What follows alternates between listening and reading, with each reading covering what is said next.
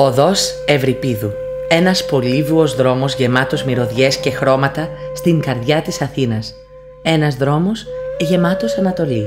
Σαν την Ανατολή που τον λάτρεψε όσο κανέναν άλλον τραγικό ποιητή, όταν παρά την παρακμή της τραγωδίας, πολυάριθμη ήταν η θίαση των ηθοποιών που έδιναν παραστάσεις μεταδίδοντας τις δραματικές συγκινήσεις των έργων του στον ελληνιστικό κόσμο.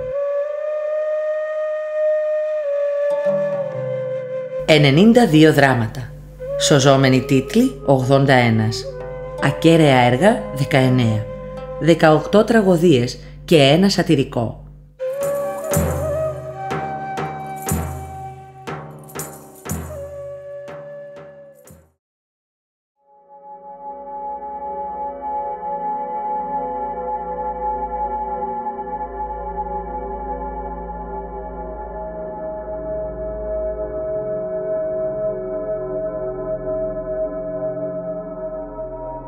Αρχίζει να γράφει στα 18. Για να αποφεύγει το πλήθος και την οχλαγωγία, φέρεται να αποσύρεται συχνά όλη την ημέρα σε ένα σπήλαιο στη Σαλαμίνα. Εκεί μελετά και συνθέτει τις τραγωδίες του. Όμως αυτή η απομάκρυνσή του από τον κόσμο του έφερε μαζί με άλλα αίτια για κέρδος την αντιδημοτικότητα. Στις προτομές του και στους αδριάντες του, οι τεχνίτες του έδωσαν φυσιογνωμία σκυθροπού, αγέλαστου και πικραμένου ανθρώπου, με κάπου βυθισμένα τα βαθουλά του μάτια. Πολύ σημαντικές είναι οι γυναικές φιγούρες που εισάγει ο Ευρυπίδης στις Τροάδες, όπου εγείρουν και πολύ βαθιά συναισθήματα, σε ένα βαθιά αντιπολεμικό έργο, όπως είναι και η Εκάβη άλλωστε ένα βαθιά αντιπολεμικό έργο. Βλέπουμε ότι αποκαθιστά την τιμή και την αξιοπρέπεια της Ελένης. Γράφει ολόκληρο έργο για την Ελένη όπου ισχυρίζεται ότι η Ελένη ήταν απλώς ένα είδωλο αυτή που πήγε στην Τρία.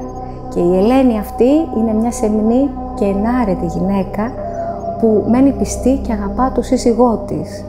Εάν στα αλήθεια πρόσφερα το κορμί μου σε έναν άντρα που λιμένει στο σκοτάδι για λίγη ειδομή, τότε δίκαια φαινόμουν αισχρή μπροστά στα μάτια σου.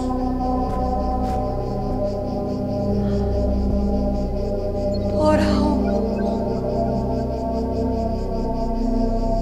εγώ υποφέρω γιατί έχασα το μυαλό μου από του Θεού το χτύπημα.